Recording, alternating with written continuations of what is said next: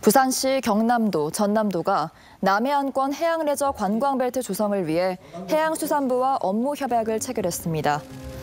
오늘 통영국제음악당에서 열린 협약식에는 조승환 해수부 장관과 박형준 부산시장 등 세 개 시도지사가 참석해 지역별 관광 자원을 개발하고 핵심 과제를 구체화하기로 했습니다. 세 개 시도와 해수부는 이번 업무 협약에 따라 남해안 해양레저 관광벨트 조성 추진단을 꾸려 올해 안에 중장기 전략을 발표할 예정입니다.